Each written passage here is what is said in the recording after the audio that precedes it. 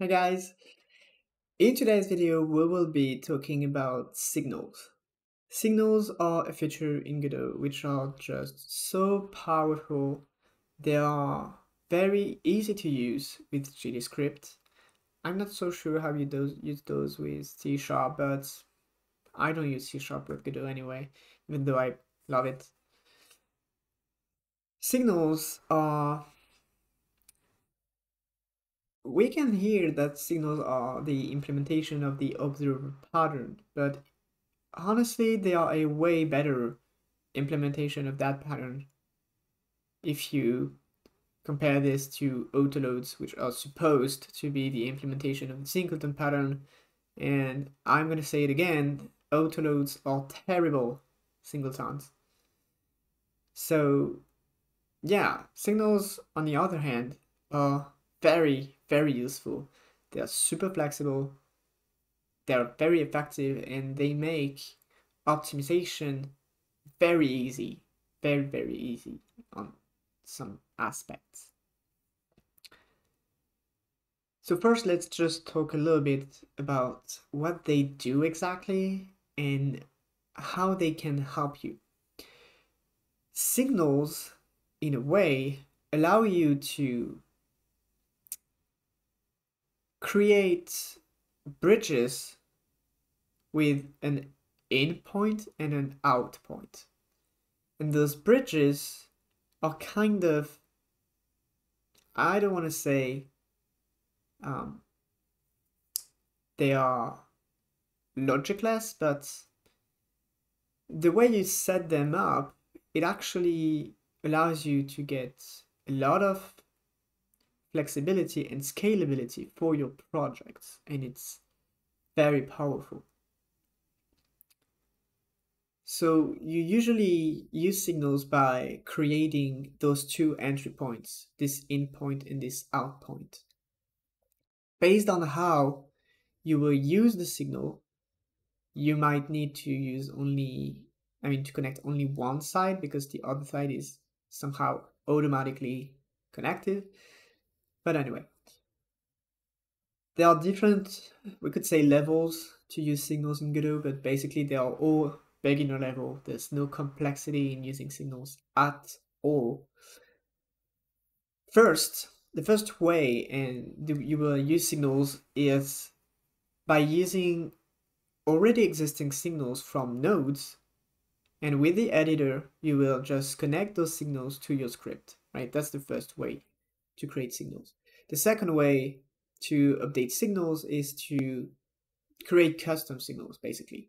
So you can in a script create a custom signal which doesn't exist in the base implementation of Godot.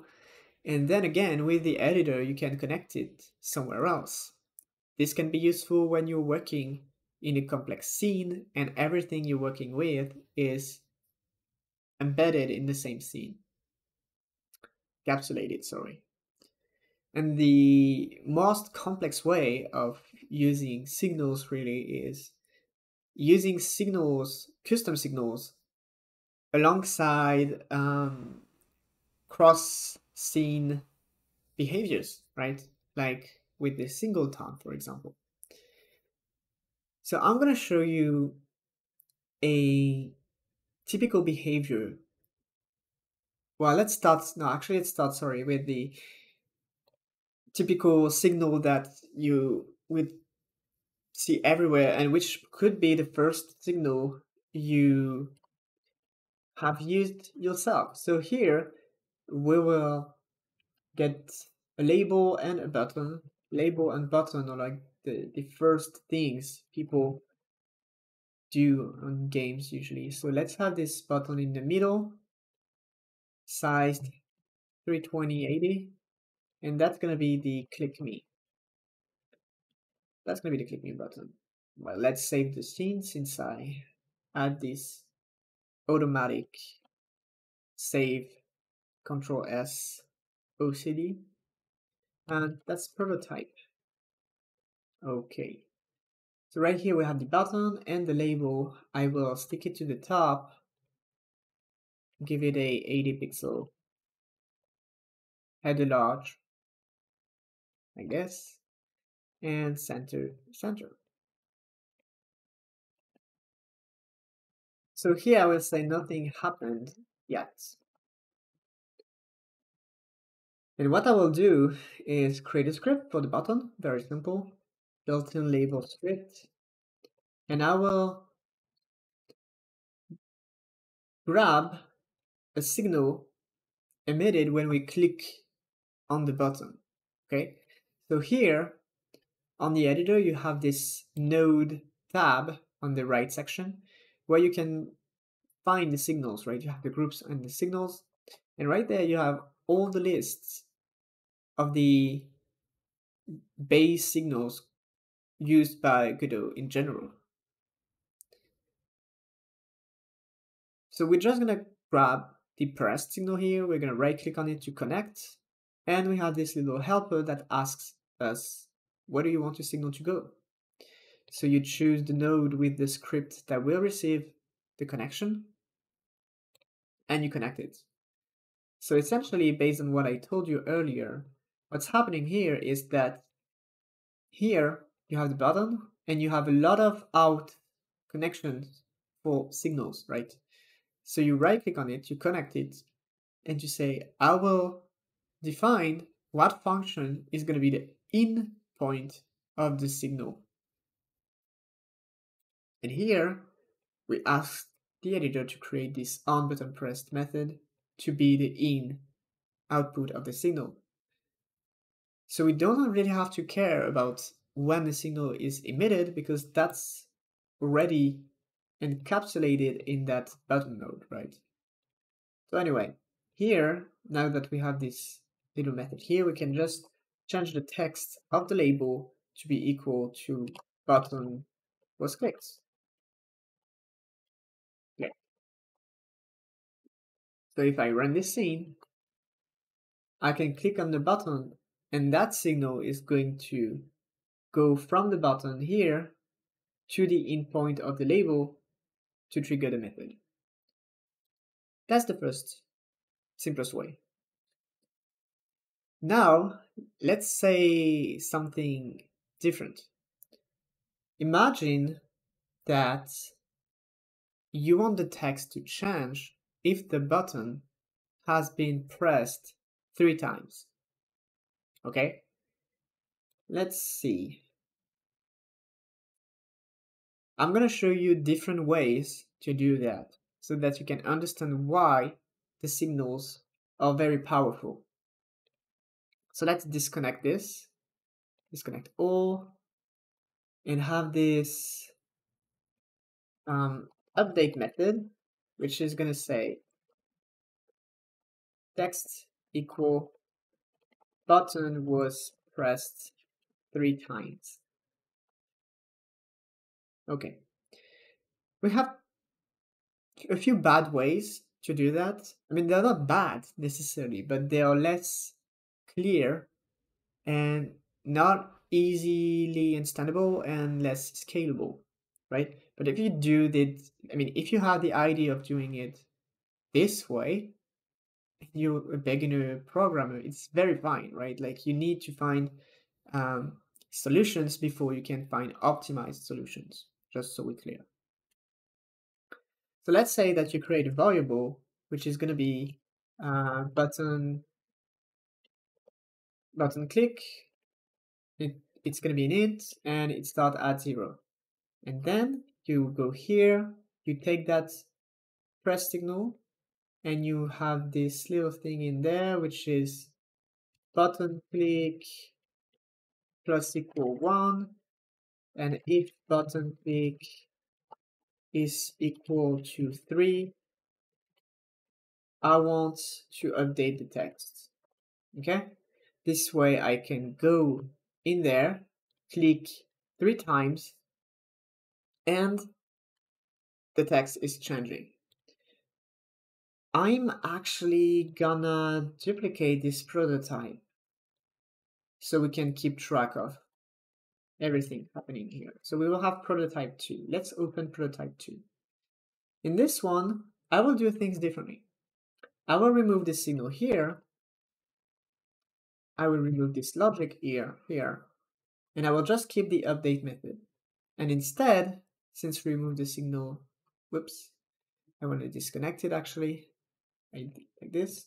And here I will create a script in the button, which is going to be the button script. And I will actually use the press signal again, because, well, I will just use the press signal in the button, like this. And I will do exactly the same, like button click, uh, it's to be an int equal to zero. Right there, we will button click plus equal one. And if button click is equal to three, I want to get node. And here, I guess we want to do this or this. How can I grab this? Let me think. I will just use a unique name. It's going to be easier. Um, here I will access label as, well, I guess I usually don't like this, but anyway, let's have this update method. That should work. I think that would. I I rarely do this, but let's see. One, two, three. Yes, it's okay. It works. And now we will do it a third time with the custom signal this time. So let's duplicate this to be prototype 3 and open it. What we're going to do is have this update method like this. All right. And uh, I need to remove this signal. This, I will make the button unique. Well, actually, no, I don't need to. Revoke unique name. Uh, I will just create a script for the button, just like the other one. So button. I will use the pressed signal of the button here. And what I'm going to do is var button click int equal to zero unpressed I want to button click plus equal one. And if button click is equal to three here I want to emit a signal. But which one? Well let's create one simply by using the signal keyword by saying button clicked three times. So here I declare the signal, which appears when you save, and it should appear somewhere. It's not appearing? That's weird, and did block after if. Well, maybe actually I just wasn't able to save since the beginning. But anyway. Can I can I do it without the class name? Oh, actually it works. Okay, so never mind. Actually, it was just the if statement blocking the save. Let's ignore this. We are learning from all the mistakes. That's cool. So anyway, here we have the signal button clicks three times. And what we want to do is just refer to the signal like this, and we want to use emit. All the signals have a built-in emit method that you can call to create a signal emission. Now that we emit the signal, we just have to connect it to the label like this so that the label can grab the signal to update. Okay, so now I'm going to review all these three approaches so that we can see exactly why you want to be using the signal on the end. In the first approach, what we're doing basically is that there is no logic in the button and all the logic is contained within the uh, let's let's close just everything to have this clearer. Right, we have all the logic contained in this label here. What is very weird is that if you think about it, the role of a label is to display things. When you display, I mean, the role of the label is not to keep track of how many times the button was clicked, right? I don't want to say it doesn't make sense because you can see why you want to put this here, obviously. But my point is, why should a label, which is a node created to display text, why is this node responsible for counting the amount of time a button was clicked? Does that even make sense? So my problem with this approach is that the calculation and everything regarding the button being clicked is located in the label. And that doesn't make sense to me. The second approach, let's close everything and open the scripts. Here, the label is successfully responsible for itself. So that's great, right? The label is here to display some text and it is just changing the text. All good. Now, as for the button right there, what's happening is that we do have the calculation of the amount of time the button is clicked. So you might argue that, well, a node, a button node, is just here to create signals from the button. Why is there the calculation of how many times the button was clicked? And I guess I would agree, because in a real project, that wouldn't be in the button here, but in a script on the side, which would be script holding the brain of the game. But at the very least, it's doing the calculation for itself, right? So maybe you could have the exact same thing in the label, like the label was updated three times, and it would kind of make sense that the label would keep track of how many times it was clicked itself, right? So here, uh, the button is keeping track of how many times it was clicked itself, so it's okay. But there's just a problem.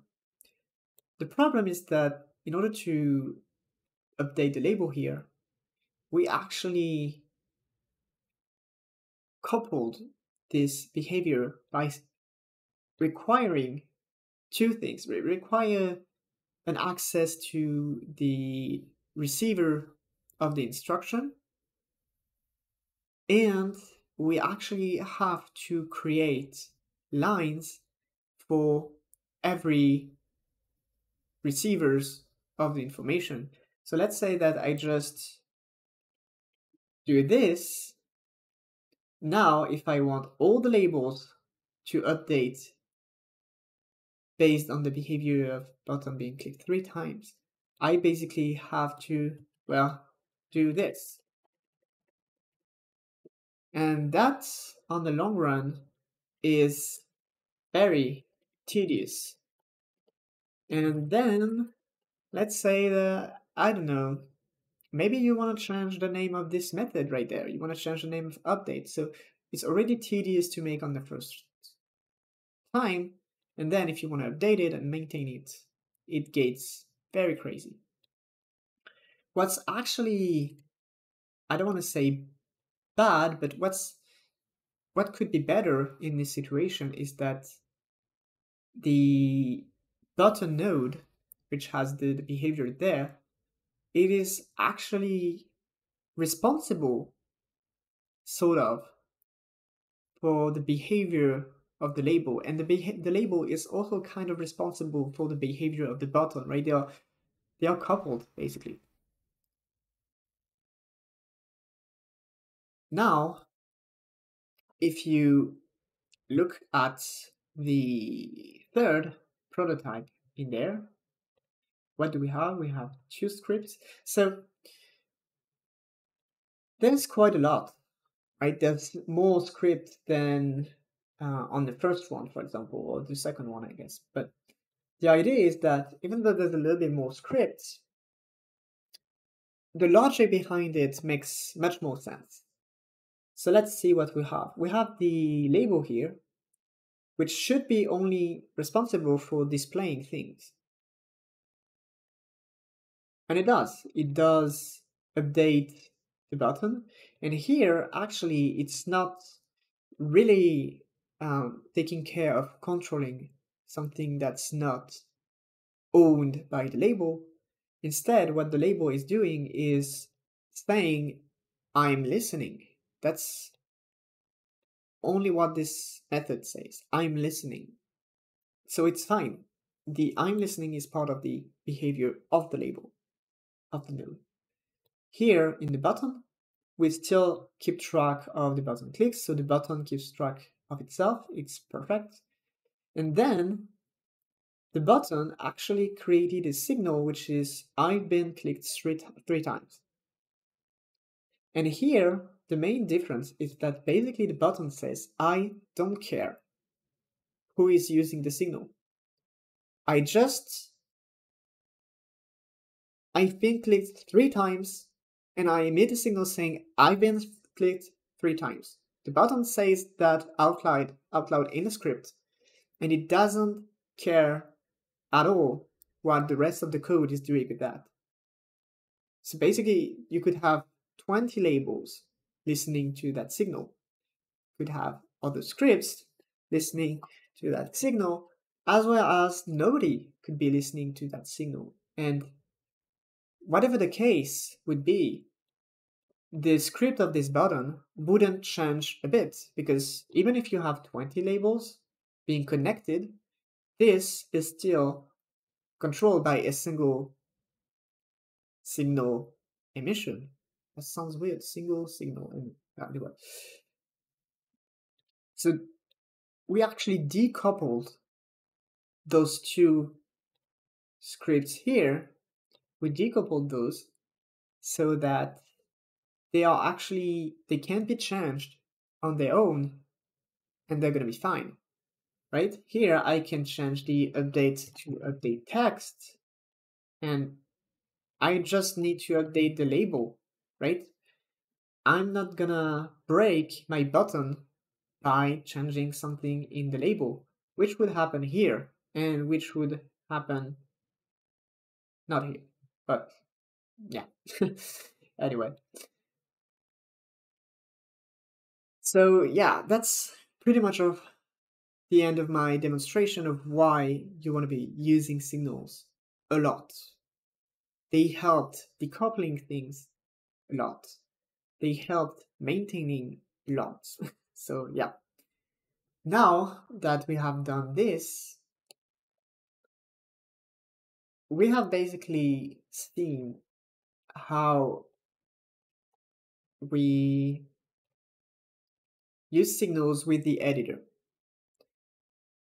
Often you don't need more than this, and it's very fine. Often the editor alone is definitely enough. Sometimes you are you, you find yourself in situations where you basically have scenes communicating with other scenes. And in that kind of situation, you can always create, um, I don't know, you can always create this kind of uh, connections and awareness of the parents, right? So you always have this opportunity when you instance a new node to have the parent telling the child node hey, I'm giving you my reference so that you can use my reference to get a reference to the signal that exists wherever. That, that, that could work. But the ideal way, really, if you want my two cents on that, is to hate autoloads and use singletons. So here, let's just create a typical manager. so that we can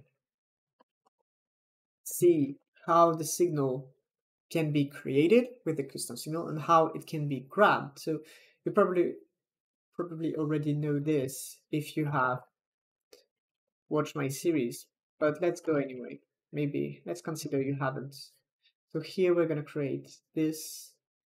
Um, yeah, let's create a new subfolder. Let's be organized a little bit. Gold manager. We have the gold manager. We extend node. I didn't talk about this yet. Why? Oh, I'm a label. Okay, in the prototype. My bad. I was editing the wrong script. Uh, yeah, class name, gold manager. What was I saying? I was saying nodes are dependent, signals are dependent on the node code. So if you want to use signals in a script, you need to extend node. And that's important because I think I tried once to have signals in resources basically, and that ended up poorly. So I'm going to show you one thing, okay? Uh, let's make this a singleton. So we have a static variable ref being gold manager, and we have the entry as usual being my if ref queue_free return.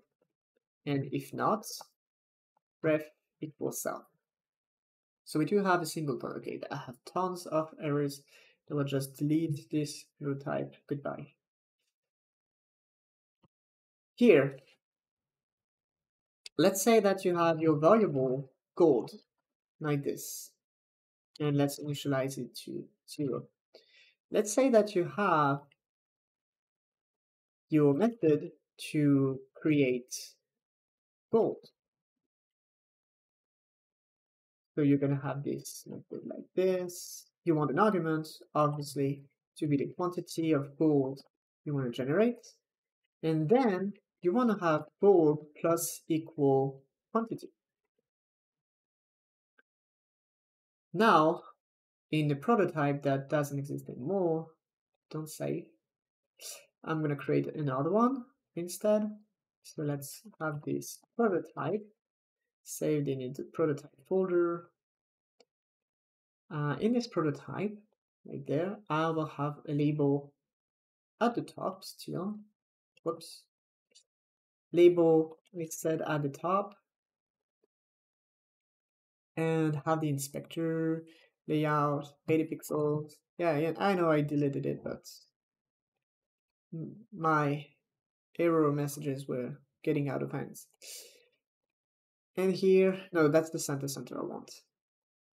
Okay. And basically, here we have two scenes, right? We have the gold manager and we have the prototype. We want those scenes to communicate with each other. So what I'm going to do is create a signal. Well, let's not start by talking about the signal yet, but let's have this label here, label script. I want to have the update uh, method that will say text is going to be equal to gold with the value of gold being manager. I put gold manager. I made a mistake. My bad. That's filming two videos in a row and being late. I mean, in a day. So anyway, we have the update method, and when we want to, what we want to do is basically call it on ready, like this. So the point is, if I create a more realistic game node, like this, have it saved in its own game files. And then I grab both my manager in my prototype, right? If I start this, I will have the gold being displayed properly, thanks to the singleton pattern that we've seen in the previous video. But right now, the problem is that if I do increase the, let's say that I have in my prototype, I have a timer.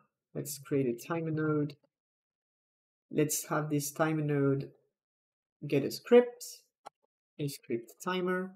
And in that script, the timer node basically, when it times out, it will generate a few goal, right? So here gold manager dot create goal, and I will create one every time this auto start label um, timer will run out. So now what will happen is I start the game, gold is being created, right? If I go in there and I go in game and I go in gold manager, uh, we can see that gold's being created. So how exactly do we do that? Well, we could use all the kind of weird tricky things that I did on the prototype 1 and 2, but I want both my label or my prototype scene to be decoupled from my gold manager scene. So that's why we're going to create uh, in my gold manager right there, I'm going to create a signal gold created with a quantity argument. Let's not talk about arguments yet. Let's have this gold created like this. Then we need to emit the signal. So I could just like, you know, show you, well, actually it's going to be like this. Um, here, we're going to have this little thing, gold created uh, dot emit, I guess.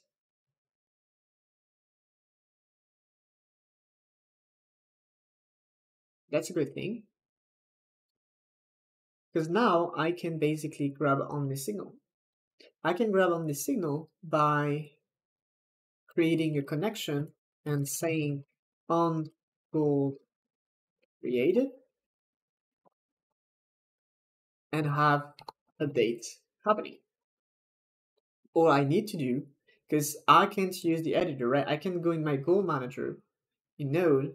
I can use the connect to find the prototypes node because they are different scenes. That's the problem. That's when we actually need to use the connect method of a signal to create that connection that we usually do through right click connect, but with the script.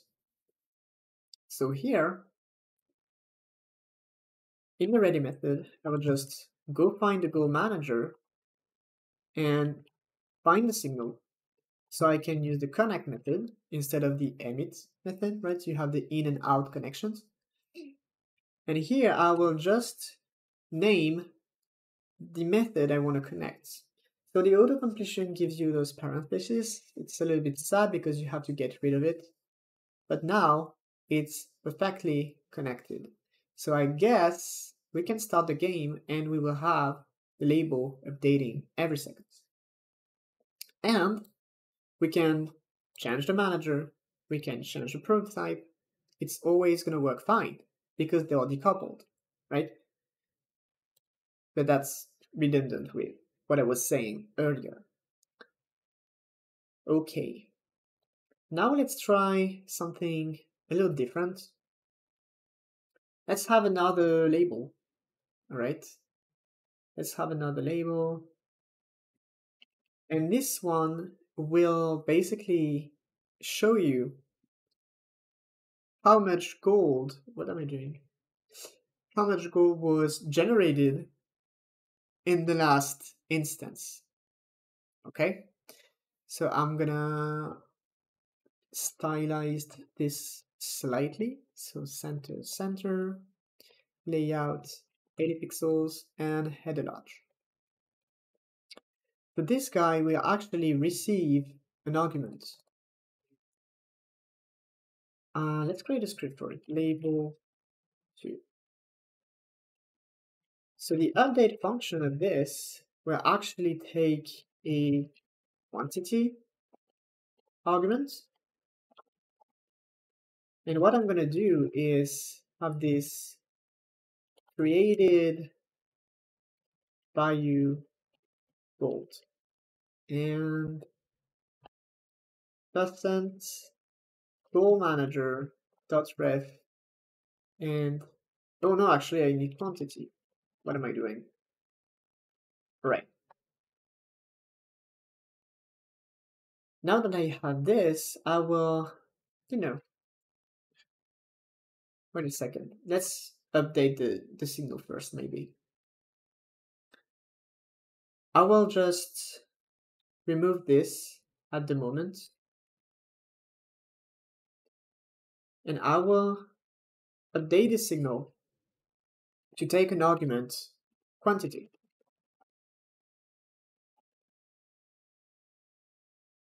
So when I emit the signal, uh, to be fair, this right there, it's not necessary but it's important in my opinion because it reminds people who read the code, hey, this signal has an argument. And it's very important because you want to take the arguments in when you take them out. Otherwise, it's going to be doing very tricky things. So here, when I create gold, what I'm going to do instead is have this thing emit the signal with the argument quantity right? So if I go back in my prototype, whoops, go in my label two, I will create this function on gold created with a quantity argument, and that's very important. Even if you're not using the argument and you're discarding the argument, you want to have it in the method. And what you're going to do is just update with quantity, right?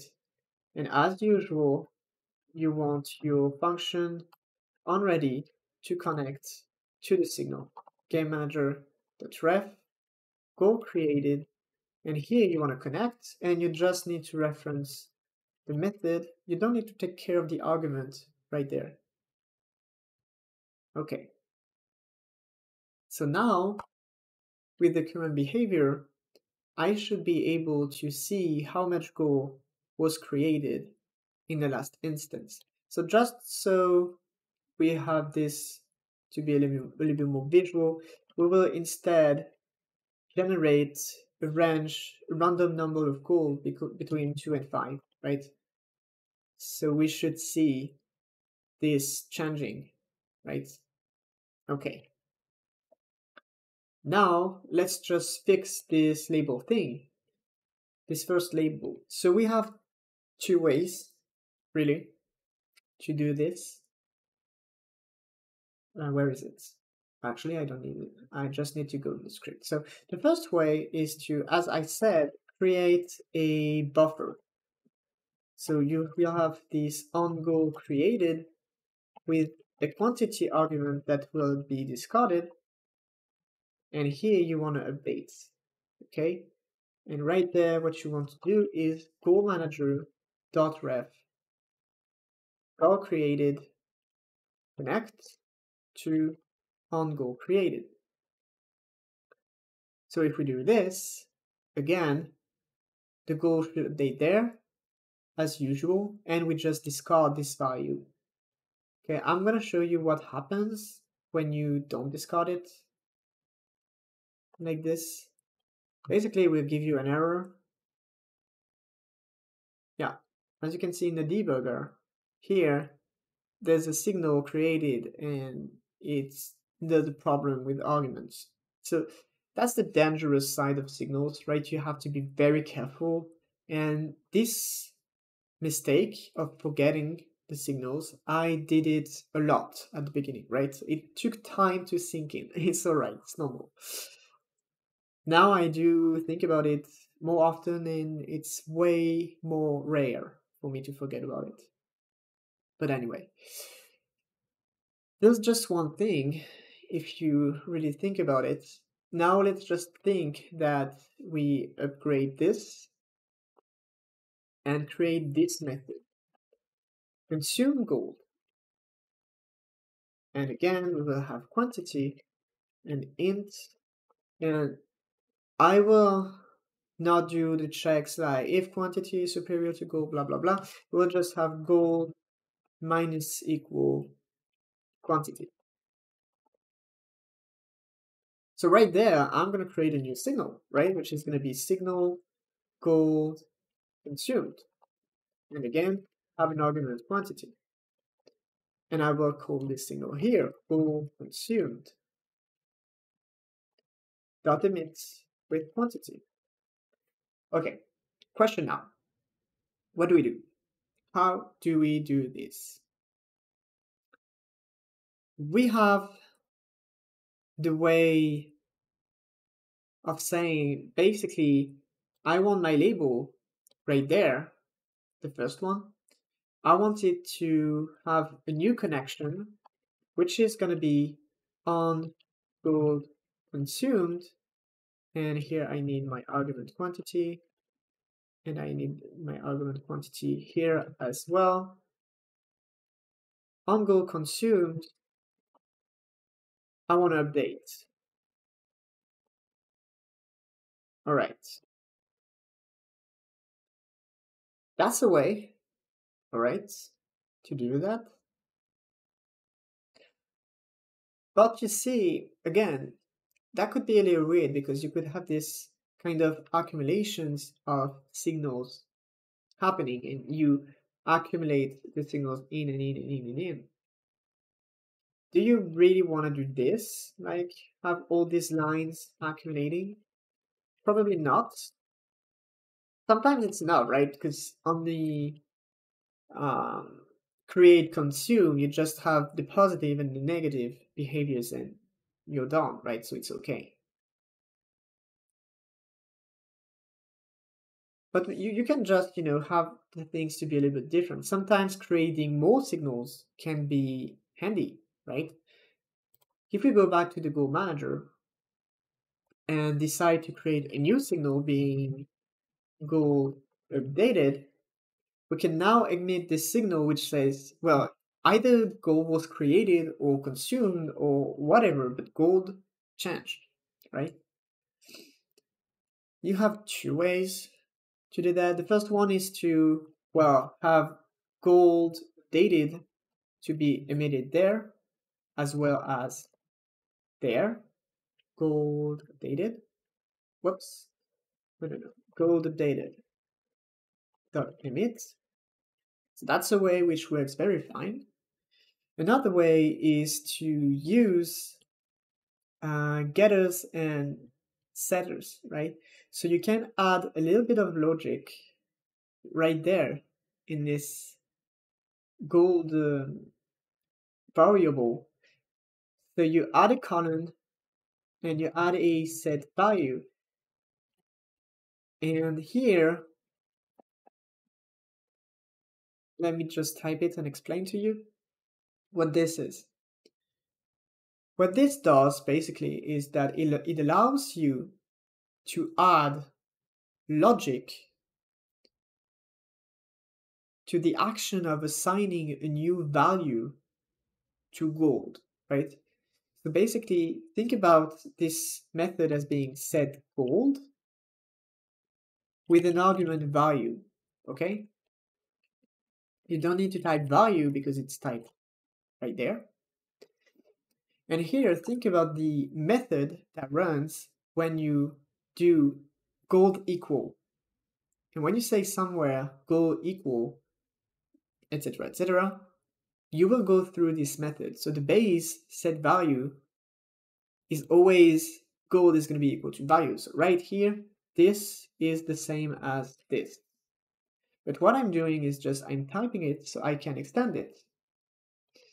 And once the value has changed, I can emit the signal called updated dot emits. Okay? I never tried it, but based on my latest experiments, this should work very fine. And I'm quite confident, so I'm filming it right now. So what I will do is get rid of those two methods and here have on gold updated instead of on gold created or consumed. So on gold updated, I want to update. And here, I want to grab the gold updated signal and connect to on gold updated. Right. So let's start this again. And as you can see, we have those two signals working independently. And this signal here is actually triggering when, where is it? There. When the goal value is being updated. So this is kind of cool. Not gonna lie. All right. Just so you know about the way of saying things, sort of, Signals are the implementation of the observer pattern. So the observer pattern usually we separate different cases, different scenarios based on the multiplicity of listeners. So we make the difference between scenarios where we have one listener or one emitter and multiple listeners or multiple emitters. And that is coming in the form of using the opposition of whereas two words. You have either one and many or one to n, n being the meaning of many. And with that, you can make some combinations if you wish. So you can have one-to-one signals. You can have one-to-many signals. Or you can have many-to-one signals. And again, many-to-many signals. So based on those relationships, you will use your signals differently. Here, gold created in and of itself, it is a one-to-many relationship right? Because there will always be one source of gold being created, and a lot of people will care about knowing that. Same for gold consumed, one too many. Gold updated, however, is, a little bit different, right? You have this thing of I could have multiple sources. I'm going to show you a different way uh, to have multiple sources that's a little, a little bit heavier, I guess. But you see, I the last time I created this uh, emit there, so you can just multiply the emit um, sources.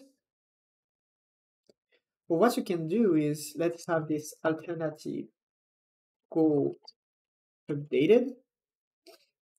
And what you will do is on ready functions.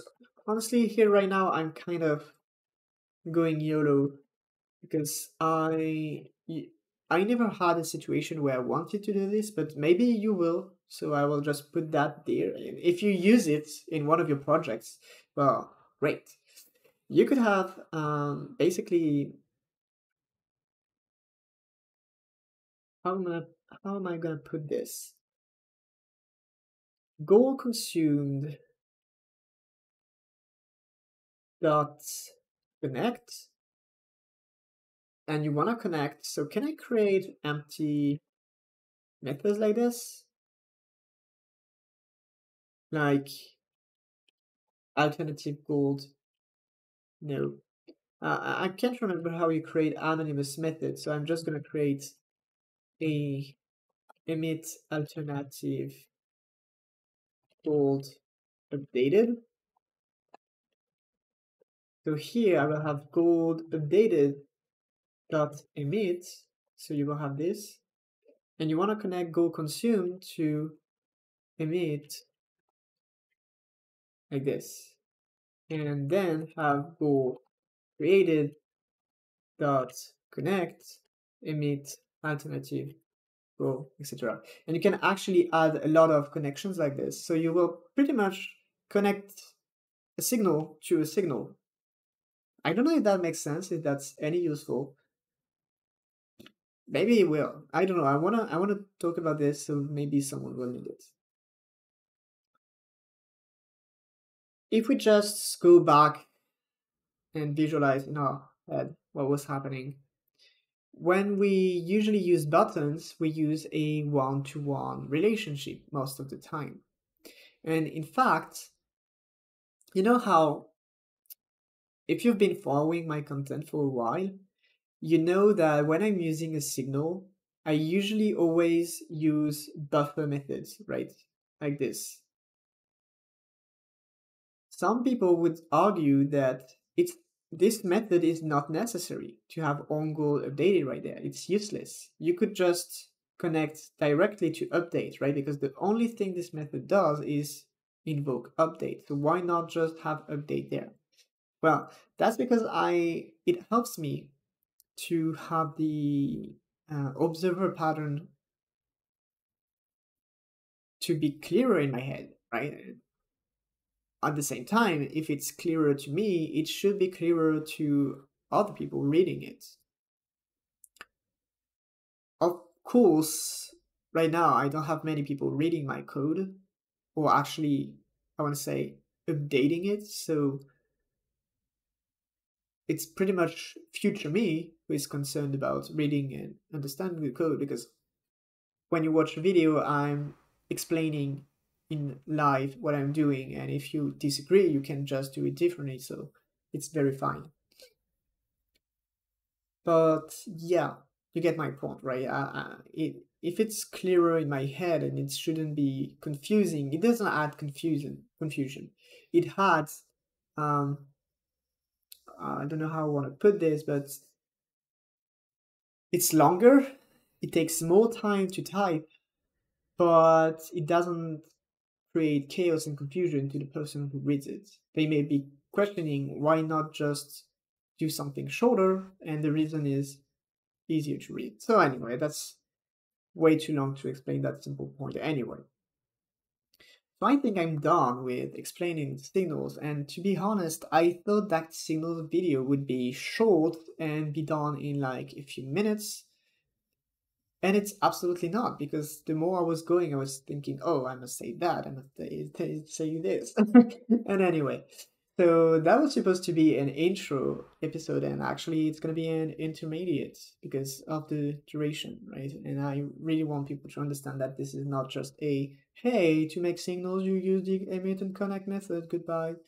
right, there, that's that's what you do, right? You have a pattern and you're not just here to use it in a very simplistic way. You really want to be creative with this pattern. You want to create structures which are easy to understand and optimized in a way. So, yep, yep, yep.